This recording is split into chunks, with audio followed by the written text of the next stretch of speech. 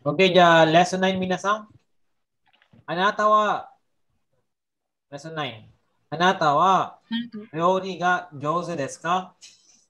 Anata Magaling ka wa ba magluto? ryori ga jouzu desu ka? Minasan, Magaling ka ang ba tanong magluto? dito ay kung magaling ka sa pagluluto. Kasi ryori is cooking, di ba? Good at. So, ano yung tinuro ko sa inyo dati minasang pag sinabihan kayo ng Iye, madam. Ah, madam. Pag tinanong, Ah, madam, pag madam. tinanong niya sa pag sabihan kayo ng Jozo desu ka or magaling ka ba, okay? Mas okay na Madam, wag iye na, okay? Oh, since Jozo desu ka lang naman, di ba? So, kahit wag mo mama, iye, Jozo ja, arimasen lang. Dadya ba? Ah, sige. Jozo ja, arimasen. Kasi tanong naman to eh. Dadya ba desu ka minasang? Hmm. Ay, Okay, saka lang kayo magsabi ng iye, madam, madness, minasang kapag sinabihan kayo mismo na ga Magaling. sa desne. Galing mo sa pagluluto. O ganun. Okay? Iye, mada mada des ang sagot doon. Pero pag ganito na tinatanong ka, magaling ka ba sa pagluluto? Iye, jozo ja arimasen. Takim nasang. Ay, Ah, sige. Okay? Then, sabi ko nga minasang, Jozo, bawal, bawal din gamitin sa sarili niyan, ha? So, since ang Jozo is good at, di ba? Hindi niya pwedeng sabihin na, Watashi wa ah, Nihongo ga Jozo des. I'm good at Nihongo. So, sa kanila kasi minasang pag nagginamit mo yung Jozo para sa sarili mo, medyo, kumbaga boasting na kasi yun. Medyo nagyayabang na para sa kanila. Ilas ka minasang. Ah, sige. So meron tayong word na ano isang pwede. Um kapoy. So si Tokoy. Tokoy Oh, rin naman yan minasang. Okay? Ba? Instead of Jozu, Tokoy ang gagamitin nyo. Good at pa rin naman ang ibig sabihin yan. Then, Tokoy, ibig sabihin, ito yung specialty ko. Ganyan ang pinaka niya minasang. Pinas ka? Dito ako nag-excel. Ganyan ang ibig sabihin kasi ng Tokoy. Next, Yasang. Yasai wa kirai desu ka? Yasai wa kirai desu ka? Ayaw mo ba na gulay? ayaw mo ba ng Ayaw mo ba gulay? ng gulay? Okay, kirai. So, kirai minasang, syempre, paano pag sinabi mong hi? Hi. Ay, Since confirmative question, hi. rice. Kirai desu. Okay, paano naman, sensei, ano, gusto ko siya. So, pwede sabihin na, iye. So, pwede naman iye, kirai ja. Arimasen. Okay, or, mas shortcut minasang, mas since sa conversation, pwedeng sabihin nyo na na, iye, then direct na na sabihin nyo kung ano yung tama, skides. Ibig sabihin, hindi, gusto ko po ang ibig sabihin yan. Dadyo po minasa? Ah, sige. Yun.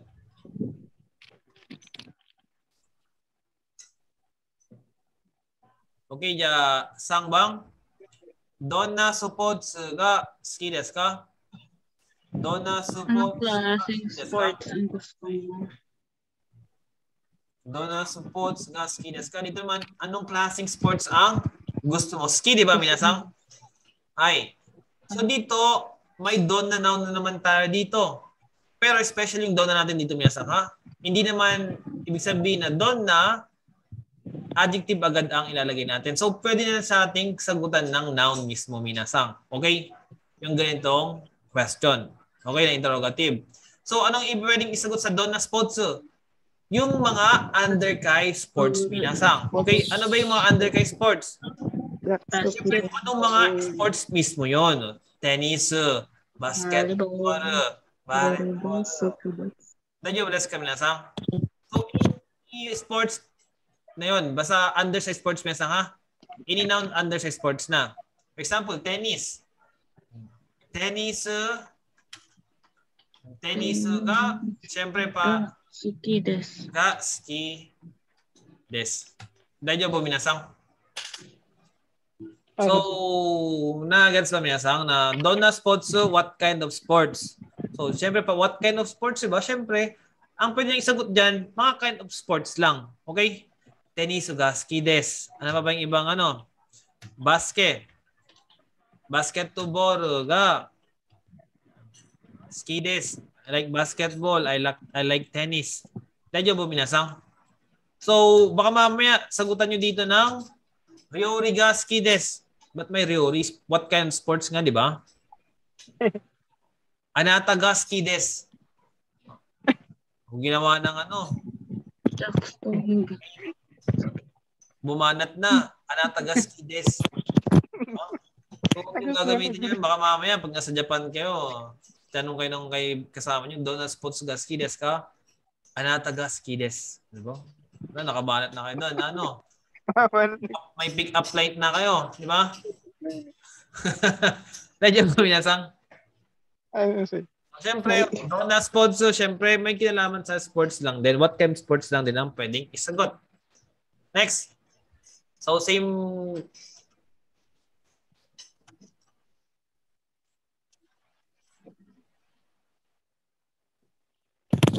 Same question din minasang na, no? Same type of question na don na noun. So, dito naman, don na Nihon ryo riga ski desu ka? Ski ulit. So, tinatanong naman dito, what kind of Japanese dish yung gusto mo? Japanese What uh, Japanese dish do you like? So, dapat, ang sasagot natin minasang since what kind of Japanese dish, di ba? So, mga Japanese dish lang ang pwede nyo yung isagot dyan. Baka mamaya may sagot ng adobo dyan. Okay? Adobo ga skindes. Hindi pwede kasi nga Nihon Ryori ang tinatanong natin. Tama? Okay? So, ano ba yung mga Nihon Ryori na gusto nyo? Ja, Angela Sang. Sushi. Angela Sang. Ramen. Sushi desu. Oh, sushi. Kompleto. Sushi ga. Sushi. Sushi ga suki desu. Ay, sushi ga ski des. Ramen ga. Da, Kisel Sang. Ramen ga suki Ay, desu. ramen. Okay. Ay, ramen. Ga, ski des. Da, sino pa? Dan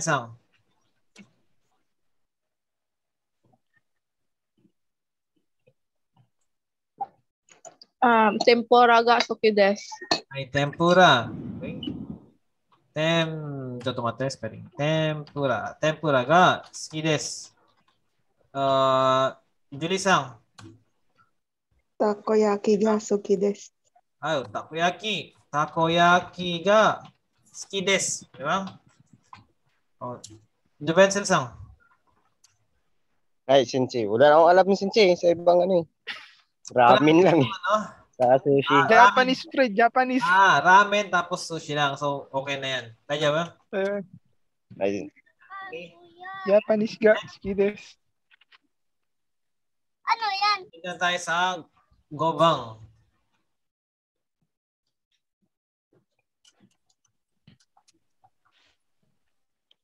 So, sa number 5 natin minasang, sa Gobang, ito, okay, Nihongo ga wakarimasu ka? Minasang, Nihongo ga wakarimasu ka? Ibig sabihin, do you mean desu ka? Nihongo ga wakarimasu ka? Can you understand? Ah, hindi Yeah. ka. You understand? Hindi ka ba? Okay, minasang, okay. Nihongo. Tatanong kung nakakaintindi ba ng Nihongo. So, syempre, hi. Hi. Pwedeng hi. Ay, Waka. wakarimasu. Imaso. Hi. Wakarimasu. Yes, I understand. Medyo let's kumasang. So, dito, alam ko, meron rin dito yung mga adverb of degree natin. Na may indicate na kung gaano natin naiintindihan yung Tie-dye. isang noun. So, pwede sabihin na hi. Pwede- dito si Tokoshi. Wakarimasu. Tokoshi, Wakarimasu. Daytay. Ano yung daytay? Ah, match. Daytay minasang, daytay. So, pwede yan si Daytay, si Yoko. Koshi. Okay, yan ang pwede sa Wakarimasu. Kaya ba? Ay. walang wala si sensei. Naintindihan? Tay-tay. Hindi. Hi, Ay, Daytay, almost all. Ibig sabihin yan. Daytay ba ka? Daytay, di ba? Daytay, Wakarimasu. Ibig sabihin, hindi man lahat naiintindihan, pero hanapin na almost all. Yoko naman, oh, Well, Yoko, Mostly. Wakarimasu, well, di ba? So, yes, I understand very well naman to. Mabuti. Naintindihan ko na ang mabuti. Daytay ba? Ah, sige. mas mataas tong Yoko compare mo kay Daytay Minasang. Skoshi, Konti. A little. ibig sabihin niyan, hi, Skoshi wakarimas. Opo, nakaintindi po ko ng konti. Ilas ka Minasang? Okay, so pwede nyo lagyan ng ganito. ah. Ini sa tatlong to. Depende syempre sa level na natin. Since medyo bago pa lang tayo sa Nihongo Minasang, di ba? First start pa lang tayo, pwede na yung squash lang. Squash wakarimasu. Dayo po desu ka minasang? Ay. Sensei. Dayo desu ka? Okay, ja, paano naman sensei kapag hindi nakakaintindi? Pwede na si Iye, wakarimasu. Sensen. Parimasen. Iye, yung basic mga, iye wakarimasen. I don't understand. Okay? Nihongo wakaranai. So sa dito may asang may adverb of degree din tayo dito. Si Amari and Amari. Sensen. Ama. Sensen. Benzen. o iye amari wakarimasen. Pag amari may asang not so, di ba? Hindi masyado. Meron, pero Pag sinabing iye amari wakarimasen, oh, hindi, hindi masyadong nakakainin. Pero, merong konti pa rin may asang kahit pa paano. Kaya mo, hindi siya zero. Hindi siya zero, ha? Nakaintindi pa rin, konti lang. Not so nga, di ba? Najobless ka na sang. ay, So, pag sinabing zen zen wakarimasen, yan minasang na talaga. po, I can't understand na to. Okay? Walang wala yan mismo, minasang. Okay? Najobless ka? So, Ah, pwede kayo pumili dyan ng mga isasagot nyo. Okay? Siyempre, pag magaling na maging nakas ni Hongo, naiintindihan nyo na lahat, pwede nyo lagay ito, Hi, Yoko, wakarimasu. Okay? Pero pag konti pa lang, Hi, Skoshi, wakarimasu. Nandiyan po, minasang. Hi. Ay, sensei. Next, kanji ga wakarimasu ka? Nakaininawa ng kanji or alam mo ba yung kanji, ang ibig sabihin nan? Diyan sa kanji. Siyempre, same lang din minasang dito. Hi, wakarimasu. Yeah, wakarimasen. Danjo bless ka na sa. Hi. So, siyempre, oh, hi. For example, hi. Kunwari, mahirap ang kanji, di ba? Konti lang. Nag-aaral din naman tayo ng kanji. Hi. Skoshi. Koshi Wakari. Wakarimasu. Yung mga pwedeng magandang sagot natin minasang ha. Since beginner pa lang din naman tayo. Or, pwede naman yung iye. Tapos, amari wakarimasen. Medyo po minasang, hindi masyado nakaintindi. Okay? Next. So, dito. Nanabang minasang. Ego ga. Ego ga wakarimasu ka? Do you understand? English? So, same, ganun pa rin minasang. Okay? Example, um, skoshi or yoku, pag magaling na magaling ka sa English, walang problema. Pinaka basic yan, hi, waka, hi, Hi. wakarimasu. Wakarimasu. Pre, pag hindi, oh, iye, Iya Wakarimasu. wakarimasen. Okay, iye, wakarimasen. So, doon minasang, kasi paano pag gustong sabihin, konti lang naiintindihan ko. O, pwede ulit dugtong dito si skoshi. Okay, si skoshi, si daitai, si yoku. Then, kung gusto sabihin na hindi kayo masyadong nakakaintindi, pwede ilagay si amari. Kung wala talaga naiintindihan, zen-zen naman ang ilalagay dito. Wait sa nanabang miyasang, yung ego ga wakarimasu ka, yung do you understand English natin? So, ganoon din. Pag wakarimasu, hi, wakarimasu, iya, wakarimasen. And syempre, pwede nating dagdagan ng mga adverb of degree yan, di ba? Kung totally mo ba o naiintindihan mo ba mabuti, konti lang, almost all. Okay? Sa negative din naman, pwede din. Not so or yung not at all minasang. Pwede ba? So, mamili na lang kayo minasang. Ba desu ka? Pwede natin lagay yan si Yoku. Yoku, si Daitai, at si Sukoshi. Pwede palitan niya minasang.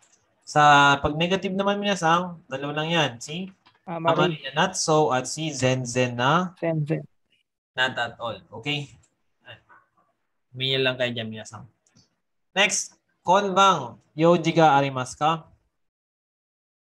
Konbang yoji ga arimasu ka? Arimas minasang. So, ito yung to have natin. Arimas, di ba? Meron ka bang gagawin mamayang ngayong gabi? Konbang, this evening, yoji, something to do or errand. Arimas, ito yung arimas natin na to have minasang ha. So, meron ka bang gagawin mamayang gabi? Okay? Siyempre, that, ano lang yan, confirmative question. Hi. Arimas? Then, syempre, iye. So, iye.